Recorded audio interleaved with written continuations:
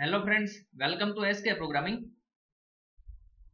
आज के वीडियो में देखने वाले हैं नल पॉइंटर तो इस वीडियो के पहले मैंने तीन से चार वीडियो और बनाए थे। अगर वो वीडियो आपने नहीं देखा है तो उसका लिंक आपको डिस्क्रिप्शन में मिल जाएगा तो वीडियो पहले आप वॉच कर लीजिए, ताकि ये वीडियो आपको आसानी से समझ में आ जाए, ठीक है?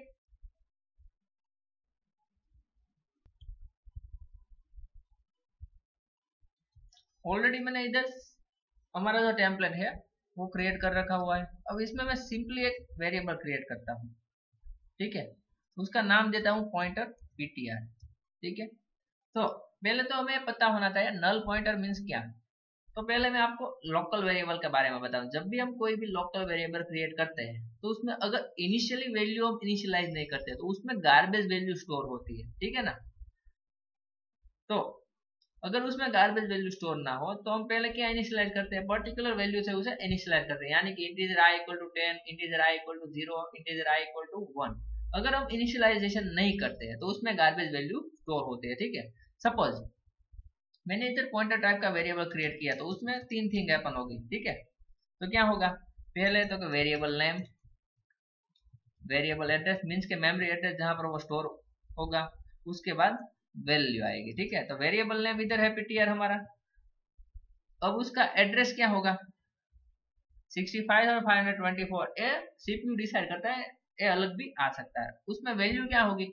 हमने इस वक्त, इसमें कोई भी वैल्यू इनिशियलाइज नहीं की, इसलिए उसमें होगी गार्बेज वैल्यू ठीक है?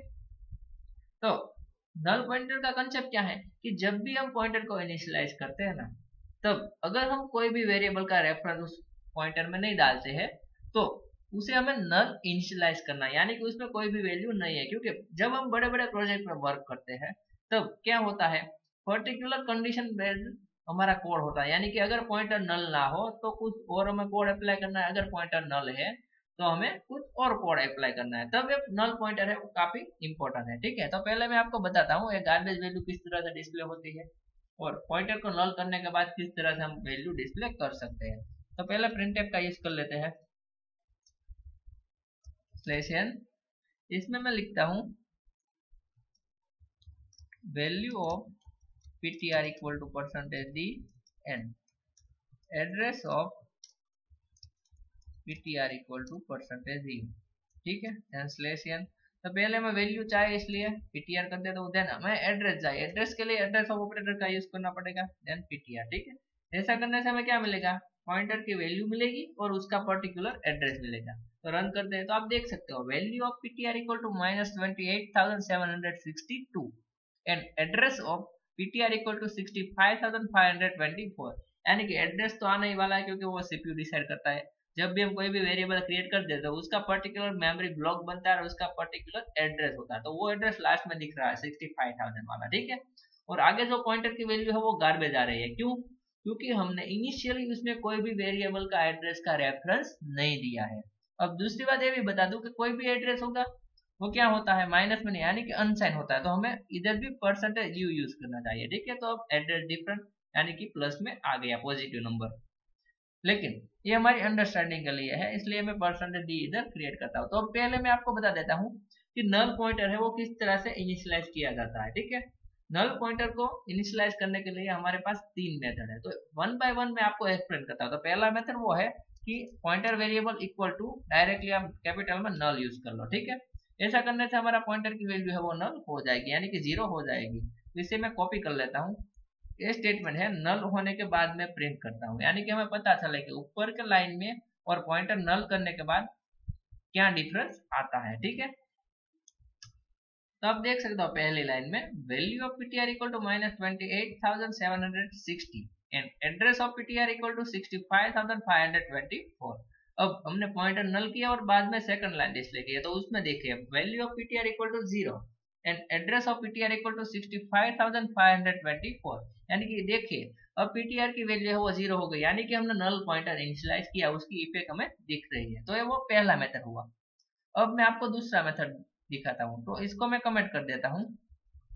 इधर सिर्फ़ आपको लिखना है PTR equal to single quotation mark में बैकवर्ड स्लैश एंड ज़ीरो ऐसा करने से भी नल पॉइंटर इनिशियलाइज किया जाता है, ठीक है? रन करते हैं।